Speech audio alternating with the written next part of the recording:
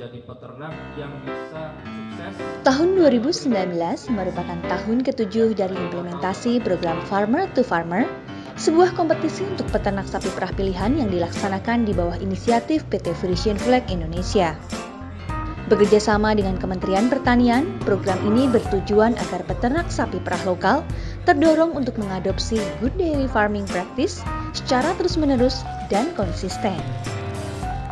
Kompetisi ini dimulai dari awal tahun dengan melibatkan para peternak sapi perah lokal yang berasal dari empat koperasi, yakni dari Bandung Selatan, Pangalengan, dan Bandung Utara, Lembang, serta Koperasi Usaha Tani Ternak Sukamakmur dan Koperasi Bangun Lestari di Jawa Timur. Ada 110 peternak sapi perah terpilih untuk mengikuti seleksi dan telah melalui proses penilaian sejak Februari 2019.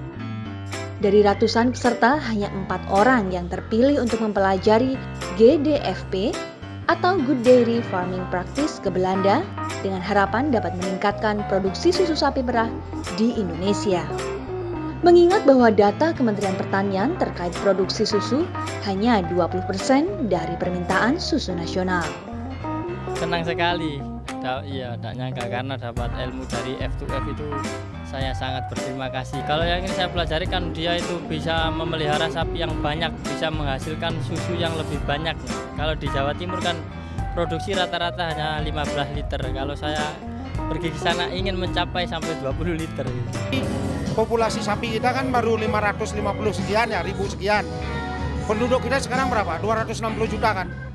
Seharusnya kita minimal mempunyai 4 sampai 500 ya kan gitu 500 juta.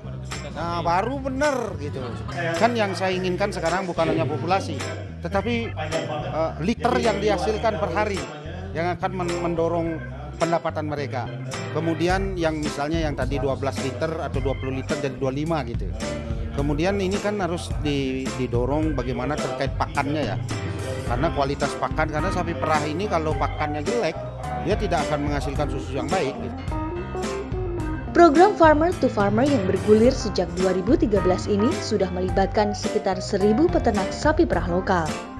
Pemenang yang berangkat ke Belanda diharapkan dapat membagikan pengetahuan mereka tentang GDFP kepada peternak lainnya sehingga kualitas hidup peternak sapi perah dapat meningkat. Tim TV Tani mengabarkan,